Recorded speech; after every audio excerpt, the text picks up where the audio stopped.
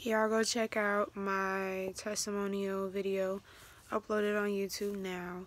Um, a correction to make. I am a sheep, not a lamb. I saw lamb on the video. I meant sheep, so this is the correction.